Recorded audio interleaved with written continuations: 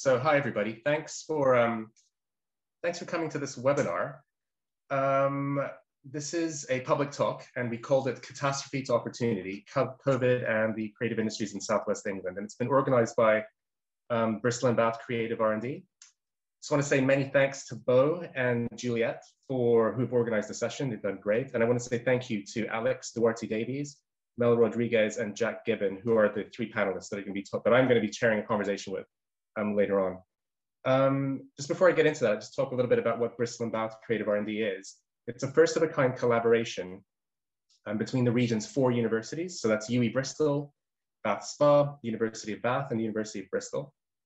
Um, and, and the Digital Creative Center Watershed. The program connects the world's worlds of university research and creative business to develop a shared vision for tomorrow's creative industries. Core part of the program are what we're calling the Pathfinders. And these are themed creative R&D projects designed to lead the Bristol and Bath cluster, so it's cluster of creative industries, um, into the future to engage with emergent technologies and develop a diverse new talent base.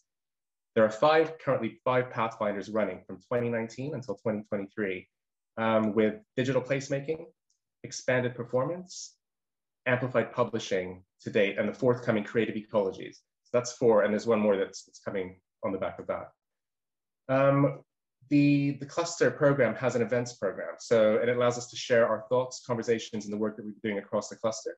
And you can sign up for the future talks at bristolbathcreative.org. I think Bo will probably put the link um, in the chat. Um, yeah, one other thing before, okay, so after our discussion, the way it's gonna work is I'll present some of my work and then I'm gonna facilitate a discussion between the three panelists after they do a little bit of a presentation of their experiences. Um, we'll be answering your questions, but please send them through using the Q&A function and not the chat. Um, so do send your questions through as you, as you have them during the talk to avoid a rush at the end. And that's in the Q&A panel, not the chat. So Juliet and both told me to make a, you know, make a point of that, so the Q&A function. All right, I'm gonna, I'm gonna move on to my slides if that's okay. Um, my name is Tarek Virani, I'm an associate professor of creative industries um, at UWE Bristol, and we commissioned, or we commissioned a piece of internal research looking at the effect of COVID-19 on the creative and cultural industries in, in the Southwest region.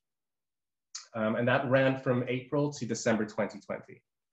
And right now I'm in the throes of sort of analyzing, analyzing that, that research and the report should be, should be finished, hopefully, um, and available to everybody by the end of March, early April. Um, that'll be free to, to get, um, and it'll, it'll, be available on the on the cluster's website. But if anybody has any um, questions about that, please do, do, hit me up on the chat. Um, I'm going to start with the slides. So I'm going to start talking about some of the research, the research that we did as a background to this. So the research itself is called From Catastrophe to Opportunity, unpacking the impact of COVID-19 on the creative and cultural industries in Southwest England. Um, next slide, please. And just before I get into what we did, our research questions, you know, some these are some pretty gloomy numbers um, that were projected by the Creative Industries Federation, who were the first kind of on the scene to really try and um, grapple with some of the statistics and the data around the impact of this, um, this terrible pandemic on the creative and cultural sector. And as you can see, um, you know, revenues lost and jobs lost are, are, pretty huge here. Film, TV, video, radio, and photography end up losing, I guess the, sorry, the projected losses were the most, 36 36 billion. Um, I believe the second biggest subsector is um, advertising and market research, and the third was music, performing, and visual arts. Um, a lot of this of these statistics are actually going to be available in in the report that I've that I'm putting together right now as we speak. Um, we move to the next slide, please. So what we did is we used surveys, interviews, and case studies to ask four specific questions, four or five, but these are the four that we rested on um, about the creative and cultural sector in the Southwest. Um, we asked in specifically what ways was, has the COVID-19 outbreak affected the sector, so the creative and cultural economy in the Southwest region? How has the sector as a whole transitioned as a response to the crisis? How can the sector as a whole be made more adaptable or resilient? And what might recovery look like? That big circle was supposed to be over the third point. So basically what this talk is about, and actually what a lot of the, the report's gonna be about, which is this notion of adaptability and resilience um, in the sector. And it's not to take away from, from the negative impact that COVID-19 has had you know, on, on the sector at all. This is just talking about some of the stuff that's come out of the research that we find really interesting around this notion of adaptability and resilience. Um, and I'll just get, get right to it. So if we go to the next slide. So I know you can't really see what's on the left, but this is annual turnover projections for 2021, 2020 to 2021. And this was for all the survey respondents. And we had a total of 322 respondents to this survey. And on the left, the, what you can't see is actually, um, it's the turnover projections by, by different percentages, right? But I kind of basically, you know, I summarized everything on the right here. So what you see here in front of you is that that 9% of the survey res the respondents actually reported an increase in projected turnover during the pandemic. This is the first wave. This is from April till um, October, right? 13% remained stable, right? So that's about 22% of survey respondents that have either remained stable or actually became more productive as a result of the, uh, the pandemic. Of course, the rest, 80, 88%, there was a decrease in projected turnover, which is what we're seeing across the country. Um, but what I wanted to focus on was on this increase in stable um, annual turnover projections. So that group, that 22%. We go to the next slide. This is another, this was another question that came out in the survey, which is about their productivity levels. Um, and what we see here is that 27, 26, actually more like 26% when it's adjusted, but 26% of um, the respondents of that 322 were either more productive than before the outbreak or continuing as, as normal, right? Um, and so again, that speaks to some of the resilience that we wanted to investigate through the report and through this research. Um, and some of the highlights, some of the findings are, if we go to the next slide, I didn't want to go into, into you know, sort of deep numbers about this. I just wanted to give you, give you all a sort of a bit of a, a quick highlight. And then the analysis, by the way, is still ongoing. So please do bear, bear with me on this, or at least take this as provisional for now. So of the 22 to 26% of the organizations which have increased their turnover, remained stable, become more productive, or had their productivity not affected, a large proportion of them had between one and 10 employees, right? So there was something about the size of organizations and whether or not that speaks to aspects of agility and nimbleness. Now, now even though it's between one and 10 employees, I don't think it's, and the, the data is going through, I'm going through the analysis right now. It doesn't necessarily mean that if, you're a large organization, you are, um, you know, you're not able to, to sort of get through the pandemic or at least anything like that. What it means, I think, more, and this is coming out in some of the interviews as well, is about how to sort of streamline some of the, the operational potential managerial aspects of, of the of the organization, of the creative and cultural organization. If you are potentially a large organization, how do you make it so that the stuff that you're doing is is is nimble, is agile, you know, is quicker. Um, another finding, obviously, is online business models, really important, you know. So many, many of the organizations in that 22 to 26% generate income through an online business model. And that, you know, like for some people, that, that could be a no-brainer, but um, delving into the statistics, it was quite interesting to see, see what that was, was all about. Pivoting, which is what we're actually going to be talking about more today. So many were able to pivot to online delivery to generate a partial or a substantial income. Um, diversity. Now, diversity within the organization does play a role, right? But again, the, the analysis is ongoing and I'm still trying to, to sort of figure out where exactly um, that is. We go to the next slide, please. um, collaboration with other sectors that became really important as well that came out so and that's collaborating with external sectors outside of the creative and cultural sector. So maybe agribusiness um, education um, health and well-being that was another really important one. Engaging with support and anchor organizations was really important. That came up within that 22 to 26 percent. So engaging with um, studio space providers hubs business support training programs they all seem to play a role here. Subsector of course played a huge role. Um, advertising and marketing, animation, audio and radio, and games and visual arts seem to fare the best. Whereas, and this may come as no surprise to many, theater, music production, and music venue management were hit the hardest. Um, government support was really important as well. So 66% um, of that 22 to 26% actually received some form of financial assistance. And we'll talk about that later on today. And then location, that was another important one. So there was three pretty big clusters, Bristol, Cornwall, and Somerset. They had the highest concentration of these organizations. So in a nutshell, um, that is basically what we um, what the research is showing. But there's a lot more to it, and that's gonna. I, I didn't want to give everything away, give away thunder, but that's going to be coming out through the report. If we just go to the next slide. Um, that's my email address. So if anybody wants to get in touch about getting the, the final report, please do email me and I'll res respond as quickly as I can. So the report should be available by the end of March or early April. Um, that's my presentation. I think what we'll do now is, um, if it's okay with everyone, I'm going to pass on to our three panelists. Um, Alex, can I start with you? Of course you can. Thank, Thank you, you, Tarek. That was really interesting and just a real insight into how resilient everyone has been. Um, I think resilience is a really lovely word. And so that was really lovely to see. Um, so yeah, so my name's Alex and I am, or what feels like in a past life, the Executive Director of the Theatre Royal Bath Theatre School, which is predominantly housed within the Egg Theatre, uh, which is dedicated to making or programming work for and with young people.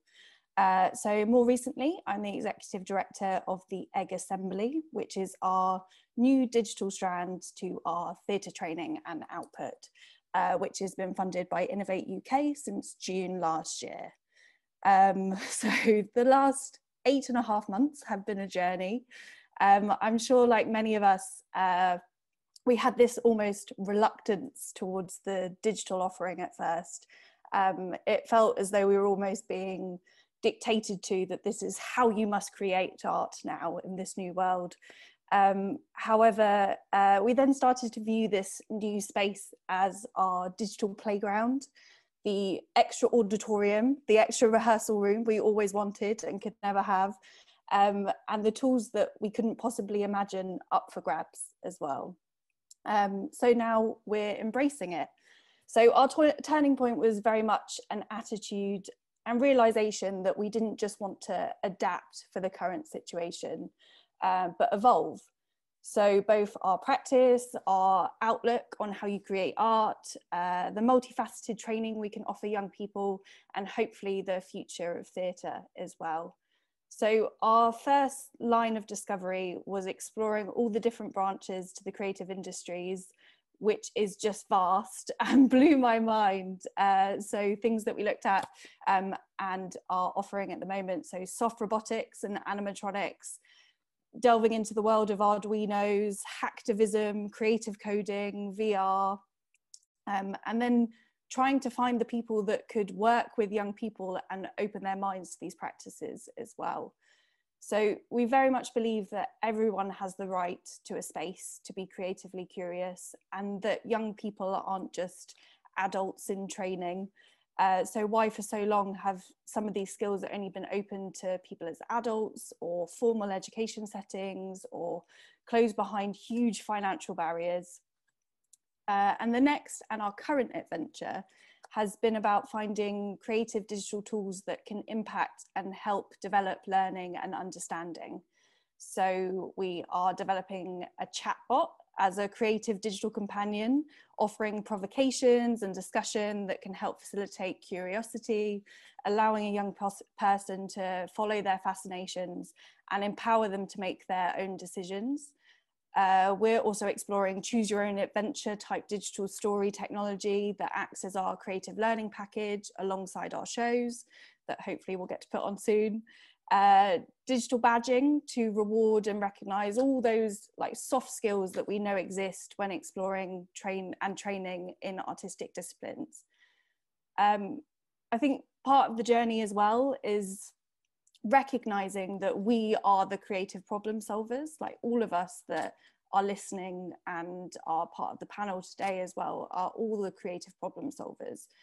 Uh, we just weren't sure of what our tools were when we first were thrown into this world. Uh, and definitely by no means are we now experts at the egg uh, in the tools and much like anything you know the more you learn the more you realize you know very little um, however, I feel like we found more joy in the journey of discovery than we originally anticipated. There is all this kind of talk about going back to normal, um, but I don't think we will, and I don't think we necessarily should. You know, this time has been a, a massive learning experience, and we should utilize those skills, understanding, and the tools uh, to start our new world, really. And that's kind of our little story over the eight and a half months. that's brilliant, Alex. Thank you so much for that. I'll come back to you about some specific questions and we'll facilitate discussion. That's great. Um, Jack, do you want to go next? Yeah, sure. Um, yes, so uh, I am Jack. I'm director of Bricks. We are a Bristol-based non-profit um, working with uh, artists and communities in Bristol. Uh, so we have kind of four main areas of practice. We work on community-led creative projects, um, especially in St Anne's in Brislington. Um, we work on public art projects, so working with local authorities and developers to uh, write and produce public art programs as part of new developments. Um, we work to secure uh, the spaces that our communities need to thrive both now and, and in the long term, which we see as um, kind of part of a kind of social infrastructure, creative infrastructure thread. And then we work on artist development. So that runs through all of our practice. Um, this time last year, yeah, things have changed a lot. And we've come as a small, really, we're a really small organization. Um, we kind of formally constituted as a charity in 2019 and came out of a research project we'd done and um, which kind of followed on from my work that I'd done with Antlers Gallery as a nomadic organization.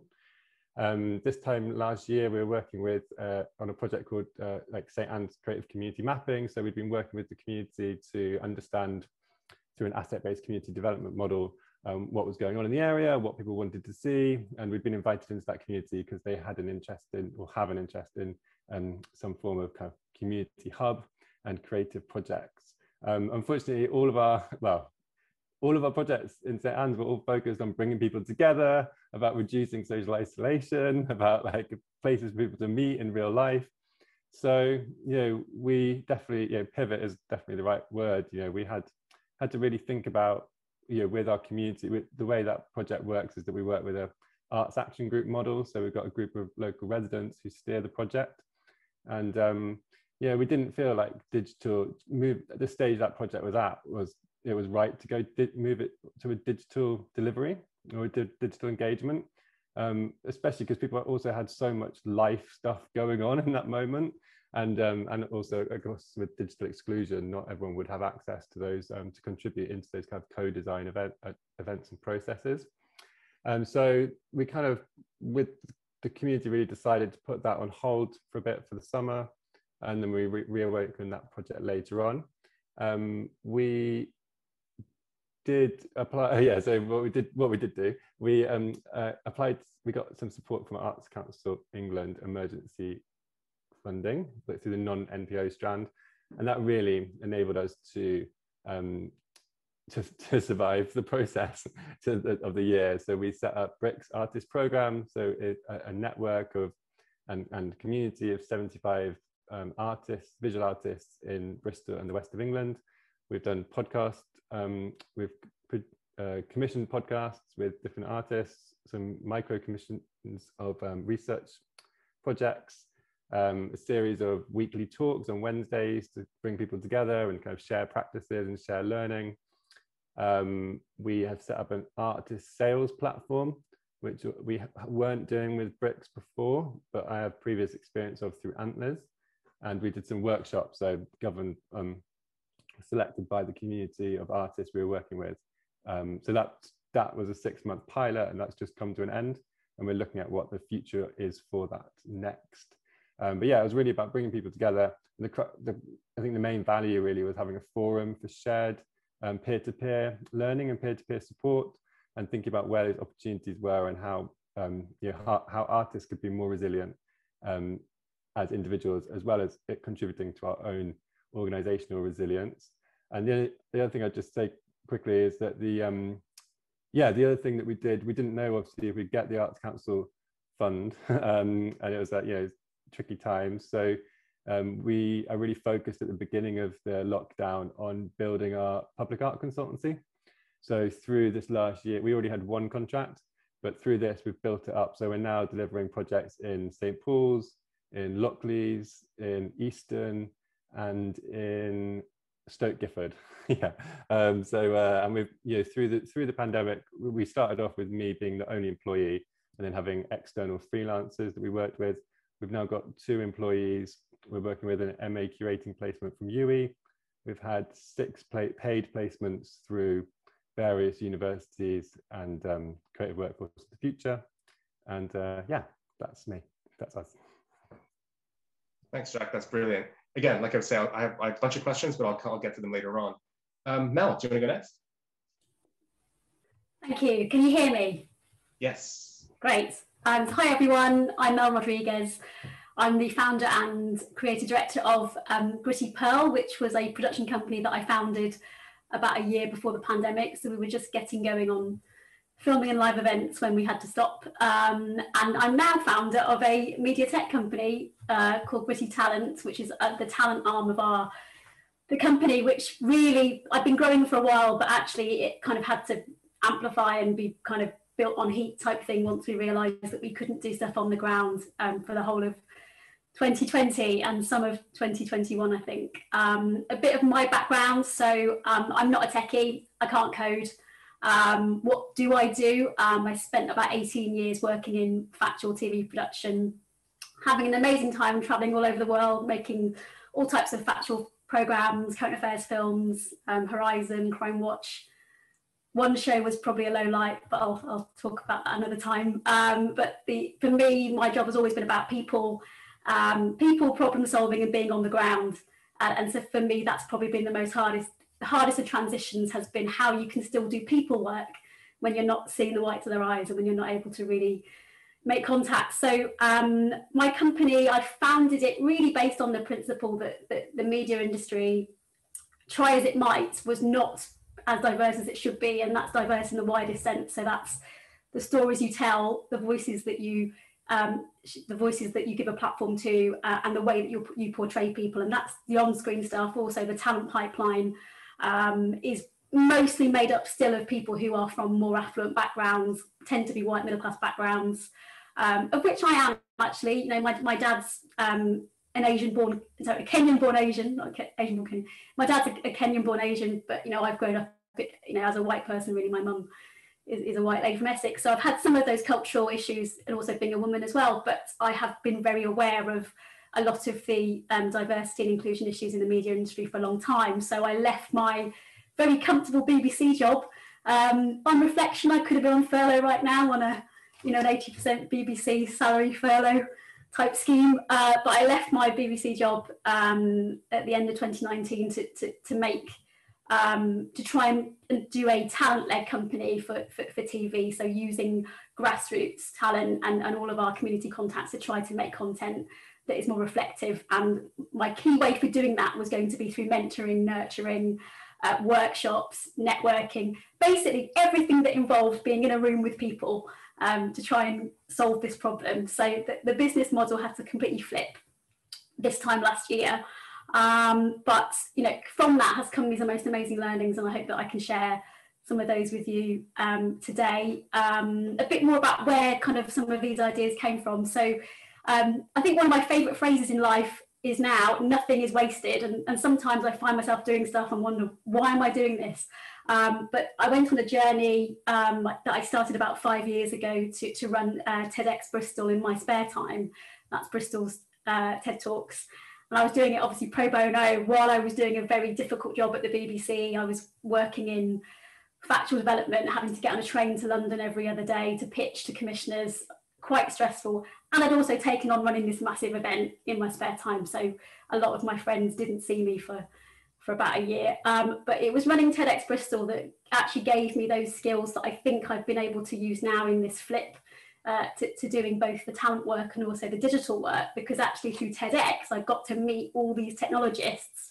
who we were producing talks for and they and I learned a bit about being a, a tech entrepreneur. Um, and the other important thing that happened between 2015 and, and now uh, running TEDx was my understanding of the talent pipeline problems. So um, a lot of our volunteers came to TEDx because they wanted to work in the creative industries, but they didn't know how to start and they couldn't afford to give up their full-time jobs or you know do lots of unpaid work experience to get the foothold and that's often a problem in in the creative industries is that if you are a a carer a parent you know a career changer someone who doesn't have a lot of finance saved up in the bank, being able to get into the industry is really difficult because it's it starts off being relatively low pay and and and, and a lot of work is done for free to start off with. So via TEDx, we developed this kind of bite-sized way of people just dipping in over the year and doing bits of work experience, you know, in a very in a remote way, which has actually served us really well now. Um, but also in a way that meant that they could just dip in and have a go at an aspect of production, have a go at the story curation, have a go at marketing, have a go at social media, but not be under that pressure of doing a, a big, intense placement or run a job or whatever it was. So we, we actually developed a really good way to do talent pipeline development. And um, I'd like to reflect on that later because I think one of the ways we're going to get ourselves out of the pandemic is being much better at championing all kinds of talent and giving people opportunities to work part-time and in those flexible ways. And I, would love to talk a bit more, more about that later.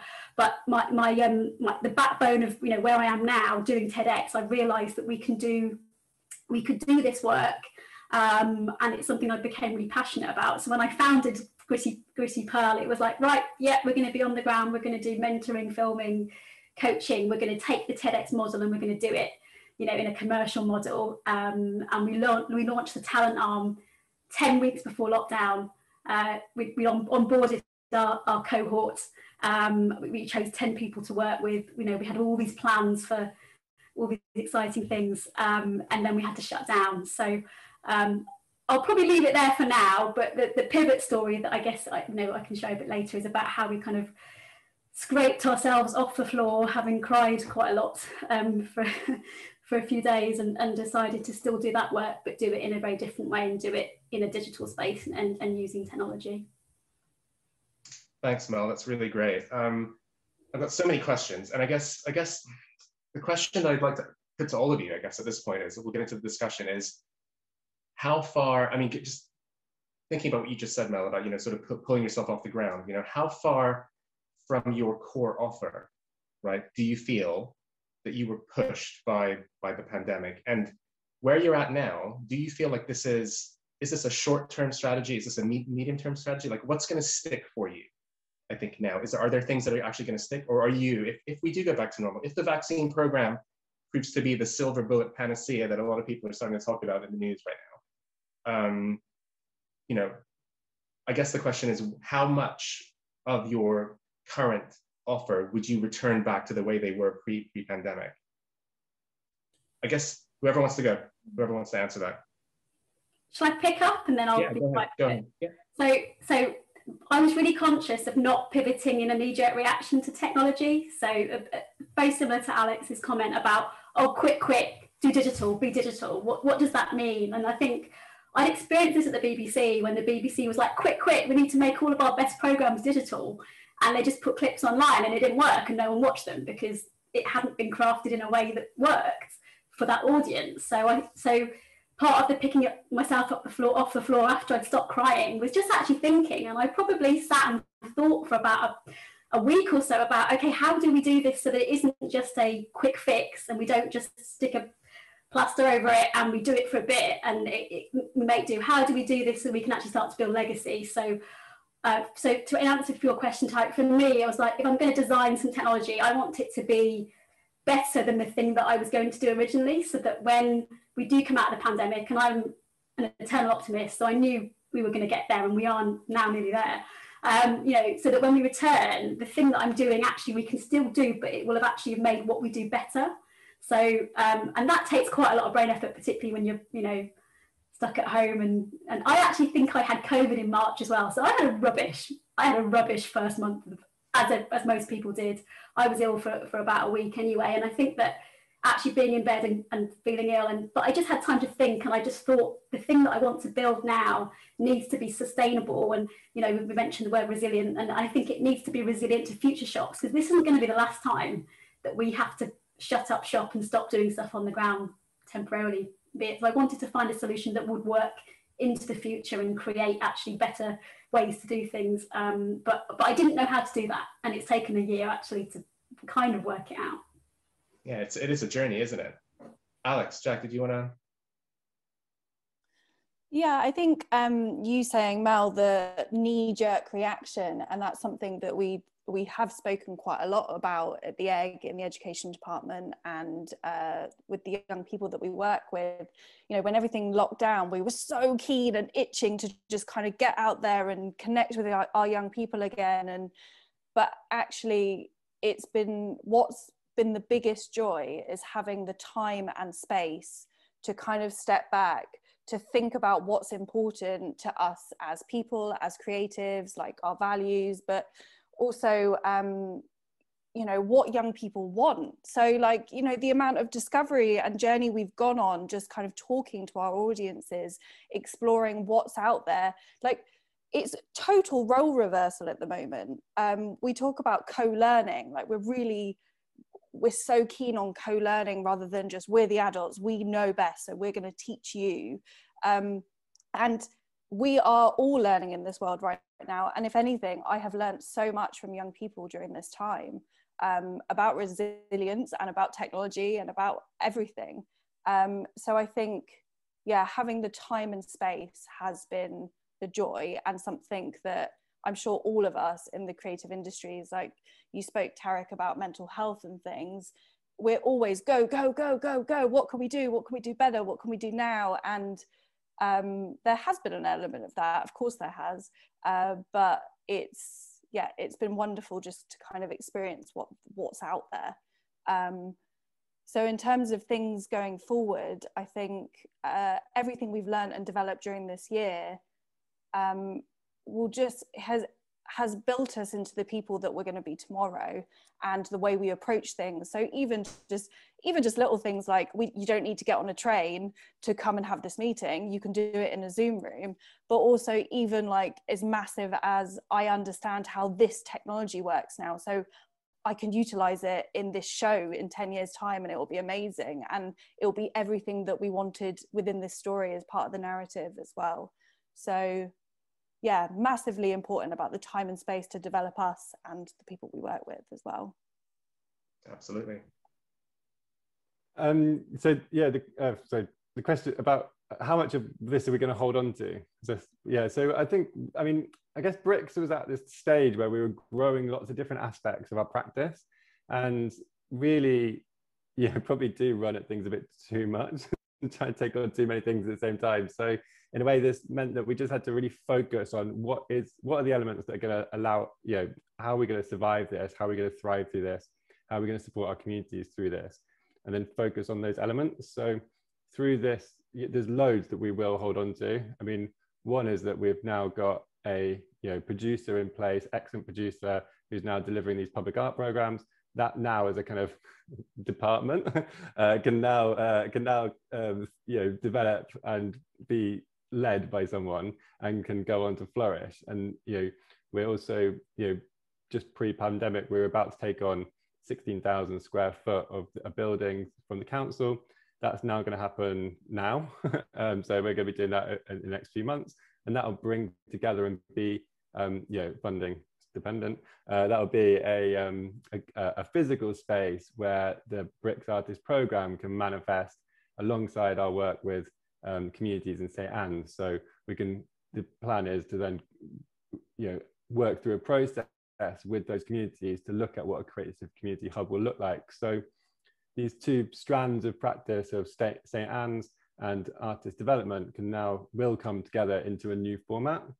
Um, and practically, yeah, there's quite a lot of, um, there's loads that I'm missing that I'm just looking forward to going back to about face-to-face -face working with people, like loads. Um, but um, there is some really, I mean, our board pivoted to starting, God, I use the word pivot all the time now, um, got me started. Um, our board changed their way of working. Um, so we now meet every month um, so that we could make um, rapid decisions and so they were fully informed of all the changes and the, the, wider circumstances. That works really well on Zoom. It's a really efficient way to do it. And you know, people don't have to travel in. So that's a type of meeting that does work really well. But meeting up with artists face to face to come up with ideas, um, I think that'll be going back to face to face as soon as possible. That's amazing. Um, there was something like from all three of your stories, there's something about you know getting the understanding the offer that you had pre-pandemic and turning that offer into something that's actually potentially deliverable through some sort of educational program. It's almost like you're drawing on yourself, and the educational component has become really important um, because that's I think what all three of you have in common is this this notion that you will you know you are you are helping with programs or whatever. You're helping the sector. There's something that you're pitching into the sector, which I think is really um, it's kind of it's really interesting that there's a lot of organizations that are starting to do that you know and the online component of it it makes that so useful. The fact that digital training and understanding becomes is um is kind of the way of the future i think. And this kind of leads into the next question which is about your i guess the subsectors that you're in um you know theater coming to you alex has been you know has been decimated by by the pandemic. And i just wonder this is kind of related to the previous question as well. You know how much how much can we expect from you know the sort of the pivots that have been happening versus you know the core offer of let's say the theater sector which is actually going to the theater and the, whole physical space component? You know and that connects to your question to your stuff as well jack and mel as well you know about this the physical component you know and how we how we negotiate that. I wonder if i'm just speak a little bit about that you know about potentially having lost that for the past year and now having you know the potential to sort of reap some of that back. And what um, you think of it. Uh, it, it was quite actually I, I know that obviously the theatre industry has been hit like massively being part of that but seeing those figures earlier in your slide is quite a quite a shock just to see them in black and white um, and there was definitely an element of kind of mourning of an industry uh, especially at the start that you know I thought we'd wake up and theatre wouldn't exist anymore. And you know much like all of us who are in the creative industries it's so much part of our identity and ourself. So to think that that wouldn't exist I, it was like i was mourning part of myself. So that was really really hard. And um, but i think what's quite interesting is you know when we originally started the egg assembly in our original kind of pitch to innovate it was called the egg theatre assembly. And we actively chose to take out this word theatre um, not because we're not proud of it and we don't want to champion theatre um, but we were finding especially with our kind of on the ground in person training the word theatre and the actual physical building of a theatre can be quite uh, daunting can be quite intimidating. People view it in a certain way. They have a preconception of who theatre is and who it's for and it's like oh well that's not for me. So this kind of new digital world and being allowed to kind of explore all these creative industries and open those doors to young people, those virtual doors to young people, has hopefully allowed them and also myself and my team to see that you know you can be any form of creativity and expression is theatrical is can be used within theatre to create theatre work but you know we're all about empowering young people to find their creative voice. So that's part of this journey as well. Um, I, I yeah in terms of the physical building i can't wait to actually get into it again um, i'm so excited because for me theatre is my home and i see that so i hope though in this new world where young people are have been exploring online they hopefully will now see that theatre can be their home as well, because that's been massively important to me. I hope that kind of answers. Yeah, it kind of makes sense. And also, I mean, looking at the practicalities of it, the importance of having, you know, of course, you know, believing in the, in the physical space and that one day, you know, you will, we will get back to that point, but also developing that second strand of non-physical activities, you know, and the importance of that. So maybe the future is two-pronged for a lot of sectors that have been this, you know, which is about, about both those things, right? Um, Jack Mel, do you want to say anything before I yeah, I could, I could come in on that. I mean, the nature of the stage that we were at, because we weren't running a venue. Um, obviously, we've done lots of exhibitions and audience-focused work before, but we weren't at, we weren't de delivering that, so that wasn't massively a loss to us in terms of the connection with audiences. It was more about what the direction we were going in rather than where we were at.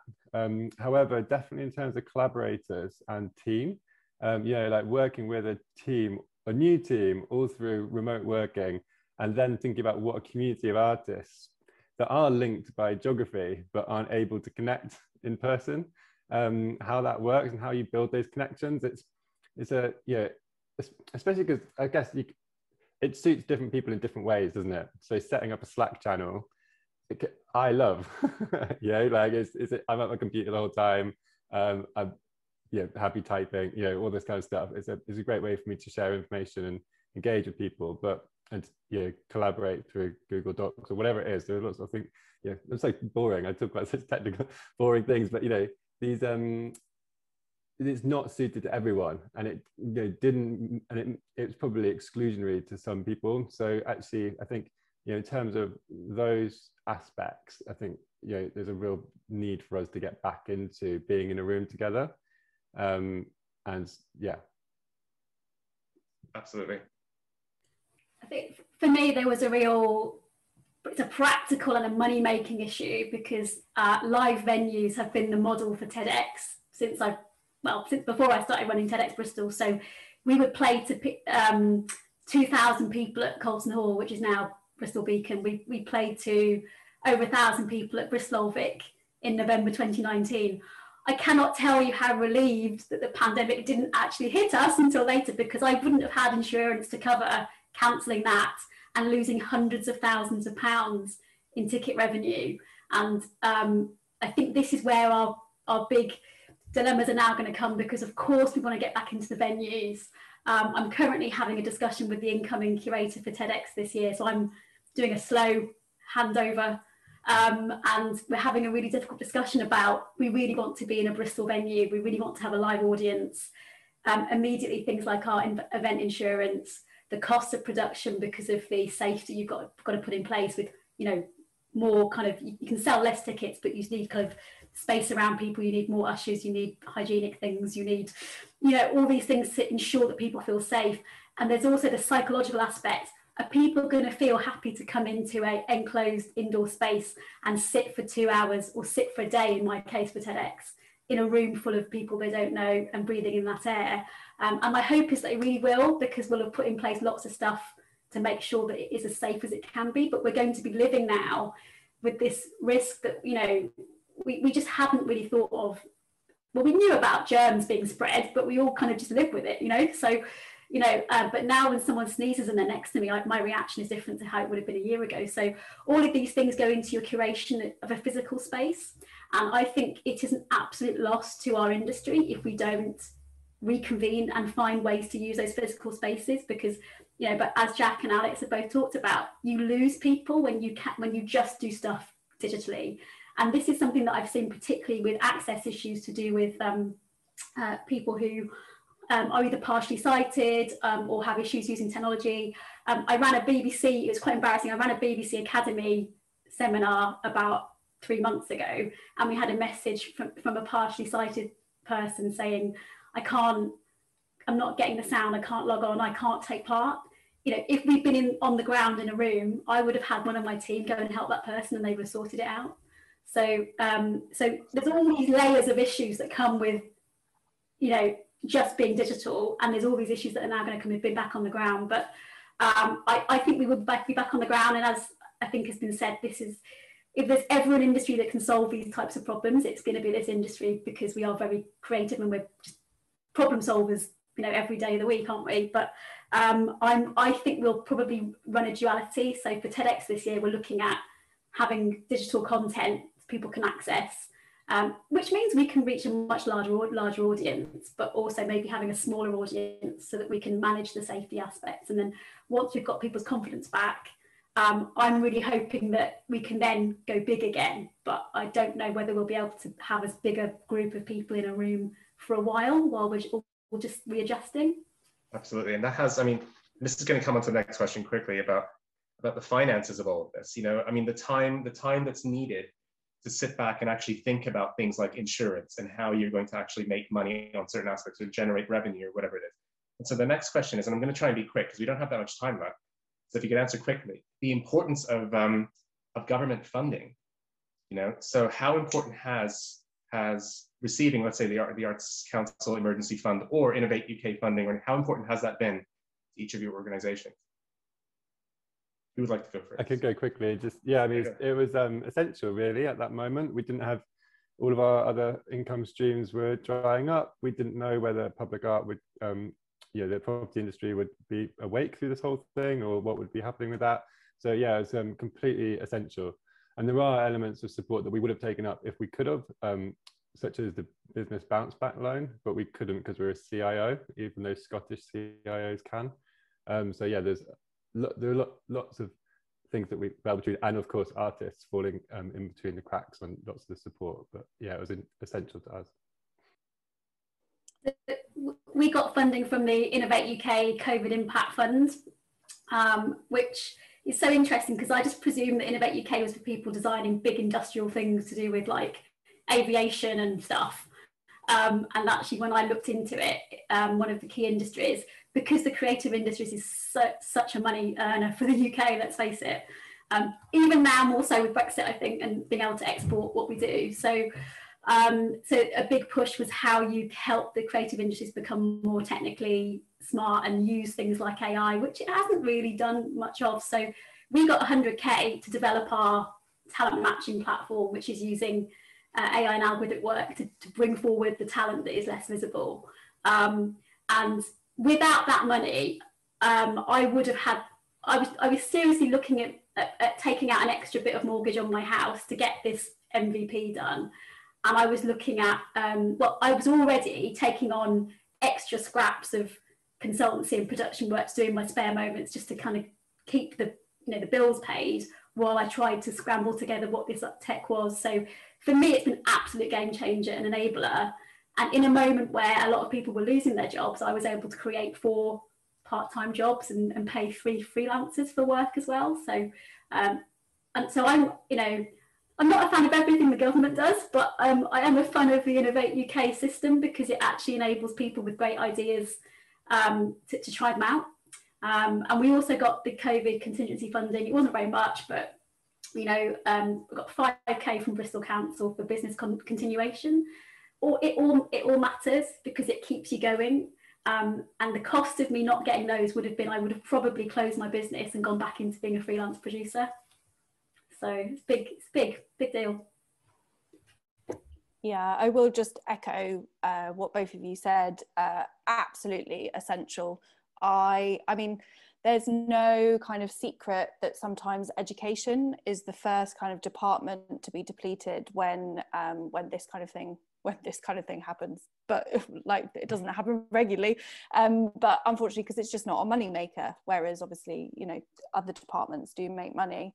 Um, so uh, the, my the team that i work with we wouldn't probably be in our jobs now um, or we'd be utilising furlough and we'd be sat twiddling our thumbs when we desperately wanted to connect with young people and uh, start making work and uh, support the people that are being forgotten at the moment. Um, and yeah, our massive, um, our biggest kind of, because there's categories in the Innovate uh, grants, our, our largest pot was subcontracting, which has allowed us to um, offer work to so many freelancers um, that might not have had it uh, w- without that money. So massive game changer. Like I probably would not be here um, talking about this now. So yeah, massively important. That's huge, and and I think you know it's no it's, it's no joke with respect to you know how the creative industries is able to, and I hate to talk about it in terms like this, but able to return make a return on that investment. So the investment that the government makes into the creative and cultural sector now comes back tenfold, you know, later on. So, and as you can, as all of you are actually proving. Um, it's I'm going to have to. Yeah, just sorry, sorry, Tarek, just a final comment. It's worth saying that it's still chronically underfunded. Yeah, of course. Um, and, and there are real problems, particularly for freelancers who were very late in receiving support, and the support hasn't been as good as if you were an employee. Um, and also, there's real problems based on the fact that most of our industry is a series of micro businesses very small companies who have who do not have big reserves. So I think our experiences have all been incredibly positive, but I know many stories of companies that haven't. Um, I it, I'm not going to get too political, but I don't think that all parts of the government recognise the contributions that we make and, and, the, and, the, and the ripple effect because we don't just make content, we hire people to build sets we work with engineers, we work with set designers, we work with sound people, we work with, you know, they buy equipment, they buy cameras, they buy, you know, scaffolding. So it's the fanning out, it's not just the fact that we create this product, this creative thing. It's the fact that if we can't spend on the ground, all these connected industries don't don't get income. Absolutely, and I think it's incumbent, you know, on on research, you know, like the research that I'm doing to actually to really advocate for that government funding as well, because it's something that's just it's so important. It comes out as so important in the research and the data, and you know, from from anecdotal information as well, and all sorts. But I'm going to move on to some of the Q and A questions, guys. Is that okay? See if I can do this properly now. Hold on. And if I mess this up, just talk amongst yourselves. Okay, can you hear me?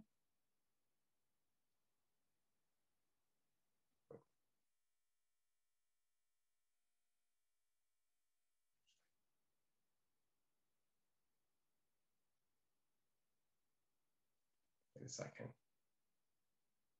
Can you guys hear, did you guys hear me? No, I guess not. Um, Bo, Juliet, is there any way that you could read out the questions?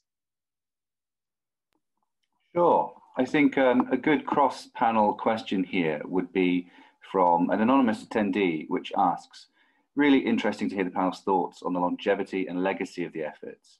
But the transition to digital has made many opportunities and activities within the sector more accessible and affordable, which is positive. However, is there a risk that as restrictions are lifted, could there be a divide between more costly opportunities in person and more affordable available digitally?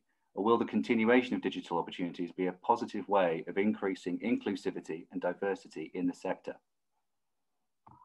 Great question. Um, Jack, you talked about digital you know, inclusion as well in this. Do you want to take a stab at that or? Sure. I mean, I think that this probably applies most to ticketed performances, this particular question in terms of the income model. Um, you know, in visual arts, which is the predominant side of our work, um, often they're free entry. Um, but we would definitely be um, moving into a hybrid model where there's kind of blended environments for digital experience and in-person experience. That's our plan moving forward. Um, so yeah, th those kind of considerations around accessibility, um, we don't want to lose any of the gains in that area um, in a return to the new normal. Right. I think there's going to be higher cost of production. I talked a little bit about that. You know, I can't see that venues are going to be lowering their hiring fees, you know, to be in spaces. Um, I think there's going to be a real pinch of, of where that cost gets passed on to. And um, I think that the, the danger is that if you pass on the cost in ticket prices, and it's a fair thing to do, but then that excludes certain people from accessing those those events on the ground. Um, and we've seen it happen online already. Today, there is a diversity conference going on online on Hopin, and it was 150 quid to attend. And I, and I wrote to them and said, given that you're a diversity conference, I don't think this is a very inclusive pricing policy, particularly for people who are not, you know, in senior senior roles in big companies. Um, and they gave me some passes for free, which was great. Um, but my point is that you there has to be a middle road. So I think you have to be able to reach a price point which is um, going to be affordable for lots of different types of people. Um, and if you can't pass on all of your higher production costs in ticket price, where else does that money come from? Um, and that could be there are, there are, there are lots of other avenues, whether it's sponsorship, um, you know, some of the funding routes that we've all gone down. Um, but I am, it's one of my biggest concerns with TEDx that, you know, we're going to have higher costs, but we still want to be really accessible to anyone who wants to attend. Um, we used to give away about 150 seats each year um, it, to make it accessible, and I'm worried that we will have to give away less because we have to make more money on tickets. So um, I think we're going to have to work our way through. The way I think we're going to achieve it is by having really good partnerships with our venues and and all of the people that help us put on these these live shows and events um, whether that be a little bit of pro bono, whether it be a longer term deal, whatever it is. But we'll probably need to do some deals to ensure that we can stay afloat and still offer, you know, accessible events and content. Um, but don't ever charge 150 quid for an online event would be my top tip for today.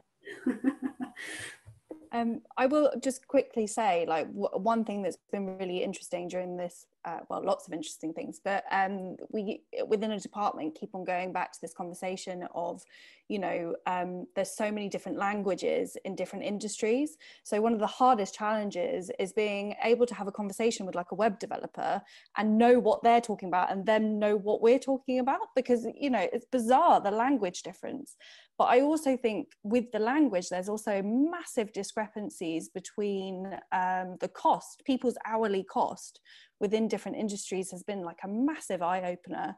So um, I, it, it's for me as a producer, it's really, really hard thinking about how I structure budgets in the future because some people are requesting this hourly kind of rate and this kind of fee and and also you know different technologies and implementing that in different ways costs wildly different things to what I'm used to which is just like you know costing a metal structured set so um, I think there is going to be an impact I'm not sure how it's going to be yet, but I think if as we learn and develop and understand, and hopefully the industries maybe start to align.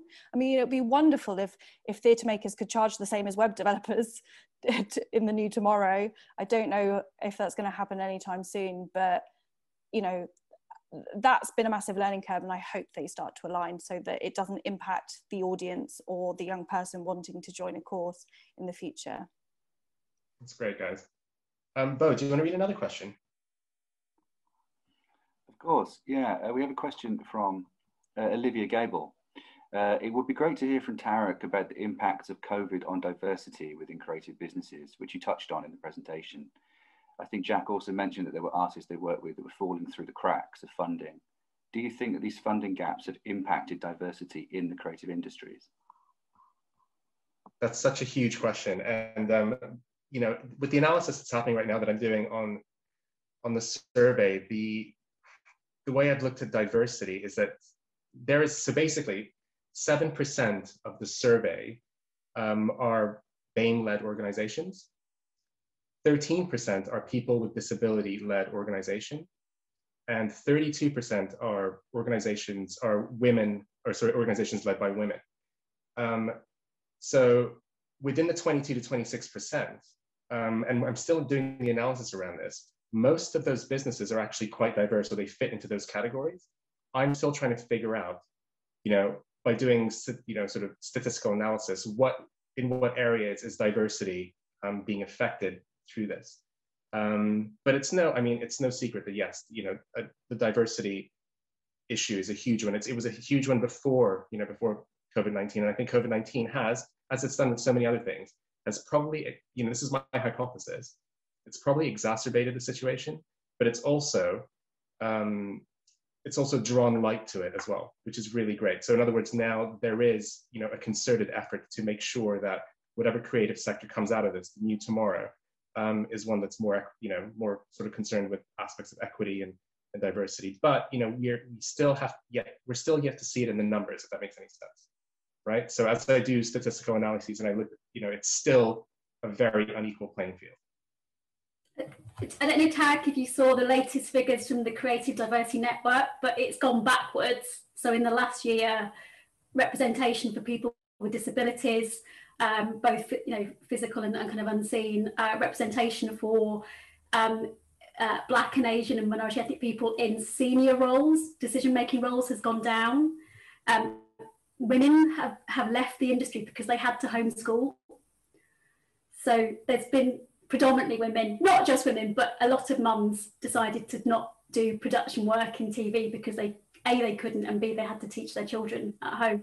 So um, the latest figures are that it slid back, but you're right, the double, um, I guess this kind of perfect storm that happened with both Black Lives Matter the protests that happened um, and also COVID is it exposed all these inequalities. They've always been there, but it really put shoved them into kind of mainstream consciousness in a way that hadn't been done for a while. So all these big corps, um, including a lot of the creative sector, big big boys, you know, BBC, Sky, Netflix, you know, they all went, we're doing this, Black Lives Matter. What does that mean? They put hundreds of millions of pounds into their diversity pots and now they're spending it. So I think this shift is brilliant because it's going, you know, people like, um, so BBC now has a 20% diversity rider Yeah. twenty percent of your team has to be BAME. Uh, you know, 50, so it's 50-50 gender. I think it's 50. Was it 50, 20, 12? So 50 percent kind of the gender balance, uh, 20% uh, BAME and, and 12% people with, with, you know, with uh, dis disabilities. So it's now, it's happening, but I think my worry is that people who are already very skilled have already moved away from the industry because of all these extra barriers that COVID or extra, extra challenges that COVID put in place. And this is particularly the case of people from working class and less affluent backgrounds who could not afford to stay in the industry and had to take jobs elsewhere because you had to, because you know you just needed to make money. So um, I think I think we're in this really interesting moment where there's now so much money and effort being put into it, but the damage has affected the makeup of our teams, and it will probably take a while to build back.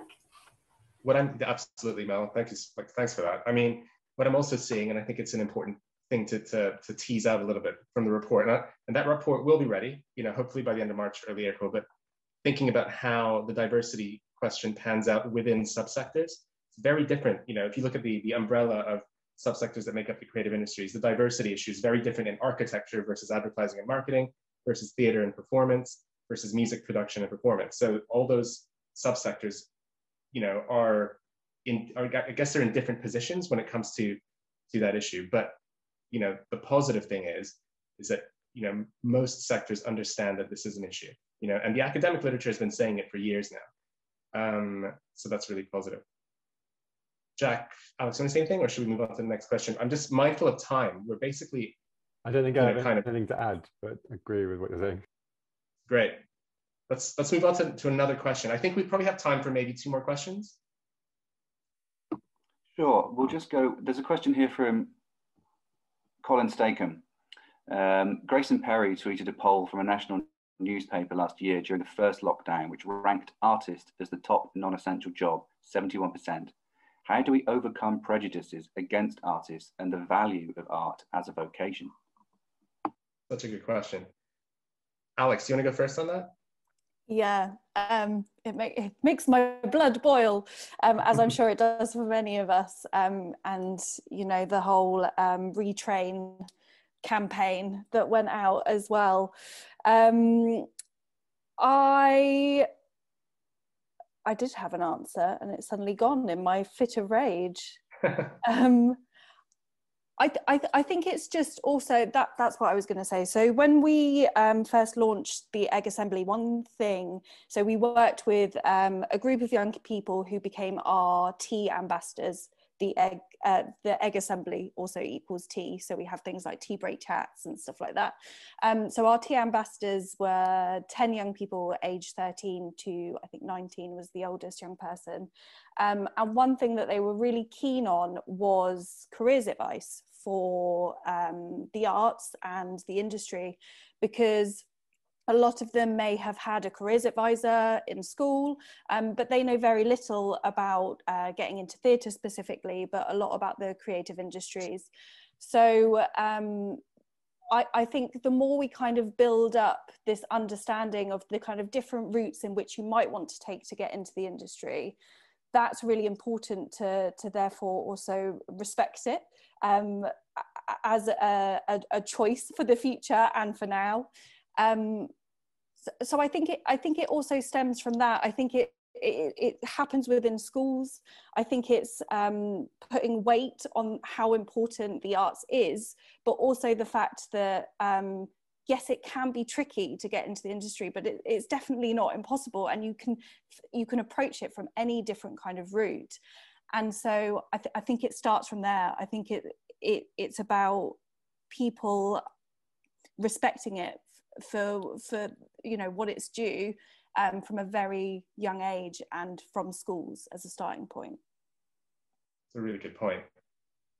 Mel, Jack, do you want to say anything on this, or? I I just say that I hope as the industry becomes more representative, that the both uh, in the artists and creative professionals and the stories that we're telling, that these ideas of what it is to be an artist and who's represented in there um, will open this up and I think there's kind of maybe a misunderstanding, or, or, or you know, the arts do need to work harder and think about um, who's represented and how they're represented. and I think that will hopefully change that figure over time. And on that, on that, I'll, I'll add that I think um, I think academia has a role to play here as well, with respect to the, the the types of research you know that are coming out. You know, again, think, doing research on in different areas of you know the arts and cultural sector and the importance of the arts, the, essential importance of the arts.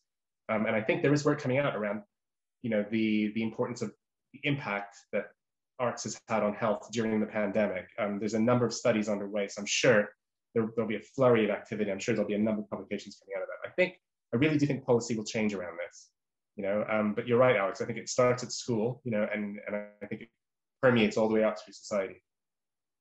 I think. Mel, do you want to say? Yeah, I just say like I've always been an activist and a bit of a you know someone to cause a bit of trouble, but I think that with all of this type of thing that goes on, we just have to fight back and do it in with all you know we're so creative i don't know if any of you remember the fatima the retrain fatima post do you remember that fatima could work in cyber and like and fatima was this amazing ballet dancer and the, and the picture the government had used was had been used without her permission and she wasn't even called fatima um, what happened after that was beautiful the in uh, across the creative sector people responded and annotated that government job ad saying um, a creative person designed this poster. You know, an artist did this. Um, an editor did this. Um, you know, um, a ballet teacher did. You know, and they literally listed all the creative people who had let um, made that ad possible. And then the government retracted the ad and said it was a bit, uh, what was the word, misaligned or something like that. But I think, uh, you know, it was, yeah, inappropriate. But I think the point is that creative, our, our work is everywhere um, look at the um, what triple kind of time uptake of Netflix and and all of the on-demand services during lockdown. It's all creative people making the, the content that people are watching. Look at what's happening on TikTok and YouTube and everything. I think it's all around us. So we just have to be very blunt and brutal about don't don't put us down because we make your life nicer. We we are the gluey bits that make life nice yes, I'm not a, a, nuclear scientist, but I will make your day happier because I'm making content that that, that you really enjoy. And and I don't I I really don't appreciate people who want to put a value on on, on where you rank in terms of usefulness to society. Um, and if they want to come and chat to me about it, I'll have a further chat with them. That's great, Mel. Great, Bo, should we do one more question, one last question? I know we're over time now, but. Yeah, I actually think it might be interesting to just run past the panel how they see things for the future? Yes. So that's yeah, that's a question for for all of you, really. Um, nice easy one. That's an easy one. You know, with respect to your organizations, but also you know the sector as well potentially. Who wants to go first? No pressure at all. I feel like I've spoken a lot in the last five minutes, but I'll just I'll just do my quick rundown. Um, a lot of it is some stuff I've mentioned before, but I think that um, that diversity is going to be our way out because we have to be able to reflect better the people that we serve. And it is through working with lots of different people that you'll get your best ideas, you'll get your commissions, you'll get your funding. Um, so that's number one. Number two, it's how we use technology now to uh, reach, reach, reach harder to reach audiences while doing our core work on the ground. So keep the gains that we've had because we've been able to reach people in different ways. Um, I think the creative sector needs to be better at being tech literate, and I don't mean coding, but I mean getting really comfortable with being in these different spaces. And um, I need to practice what I preach because I'm still learning. Um, I think you know we touched on funding. I think other ways to fund the commission-based funding model is so vulnerable and brittle. And, and that's what COVID proves. So we need to find different ways to source funding, which is again something that we've been working on. And the final thing I think is that it's connected to all of those things. It's flexible and part-time work. I think that probably the way we build back is creating opportunities where people can, you know, don't have to commit to a full-time job because they may now have, you know, caring, caring responsibilities or need to work elsewhere. But and create, I think that COVID has taught us that we can work at home and that we can still collaborate and that you can still do great work with people. It's not the same, but I think bringing that with us means that we'll be able to work more flexibly. And then if COVID or whatever, the next, if the next coronavirus hits in, you know, God forbid it won't, but, you know, if we did get a similar kind of global shock, we know what to do. So we're not going to be quite, we're not going to be kind of completely kind of, you know, um, you know, blasted kind of away for so long and we can get on with stuff. Great points, Mel. I would um, totally agree with you, Mel, on all of that. Um, I, I would only just add that I think, um, yeah, for us, we're definitely thinking about you know, where where we can be useful, where artists can be useful, where we can bring thinking into conversations, and maybe whether that's and some of that's about you know, recovery from COVID. Is that about the high streets? Is that about mental health and well-being? Is that about the way in which we connect with each other? Or you know, I guess in some ways we're thinking about you know actually what are the things that we really miss as community, you know, not just as artists or people in the industry, but as humans and as citizens and how we want to how we want to kind of facilitate that coming back together and that celebration and what we've all missed. So I think there's a huge role for artists in that, and I think we can kind of really set out a value in that as well. Yeah, I would obviously echo everything you guys have said. Um, I also think that you know during this time we've lot we've learned a lot about ourselves and um, and our the way we communicate with other people, be it digitally or or in person if we've been fortunate enough to. Um, I think hopefully, I really hope that moving forward, everyone starts to kind of respect their own kind of boundaries and how much of themselves they can give to their working life, um, and that everyone respects that for each other as well. Um, and also that uh, jogging bottoms are definitely a good thing to wear at work and we can be more productive that way. Perfect. For what it's worth, I think I'm just going to put my two cents in, even though I'm not on the panel, I'm just chairing the panel, but I do think digital literacy is really important, especially with respect to cultural production and, and diversifying cultural assets to a digital offer. And I do think, and this is obviously obvious coming, you know, coming from the sort of the academic aspect, but I think funding and finance skills and business skills are really important as well. And I, I think that's something that's that's starting to permeate a lot through you know what funding was available for specific groups and which groups actually you know i think there's a number of things that need to be looked into around that. And i wonder i wonder if there's a way that could be democratized a little bit more. And, and it's kind of in you know in tune with with this digital literacy aspect as well. So you know free courses or free content out there around how to get innovate uk funding for instance because there's a lot of people that just don't know how to do it right? Um, and where would you start that? You know so where are the, where are the points of access around things like that? I think are really important. Anyways i think we should probably call it time guys. Thank you so much for your time and for doing this.